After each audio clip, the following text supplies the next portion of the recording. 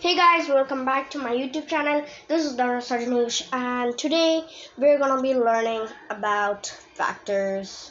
It's been a long time since I posted a video and I'm back with factors. So let's go. And uh, just a little key information. Uh, this is the topic of max. Yes. Uh, so topic is max. So let's start. So what are factors? A factor is a number that divides into another number exactly and without leaving a remainder. Most numbers have an even of even number of factors. However, a square number has an odd number of factors. A prime number has only two factors, the number itself and 1. Let us check the factors of 12. The factors of 12 are 1 by 1 multiplied by 12 gives you 12, 2 multiplied by 6 gives you 12, 3 multiplied by 4 gives you 12. And the factors are 1, 2, 3, 4, 6, and 12.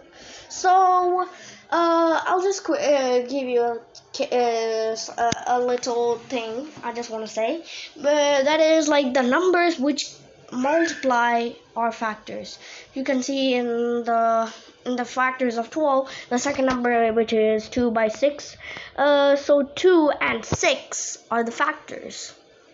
Like that 3 and 4 are the factors for the numbers for factors of 12 so let's uh, get into another example which is the uh, factors of 18 118 gives 1 multiplied by 18 gives you 18 uh, 2 multiplied by 9 gives you 18. 3 multiplied by 6 gives you 18.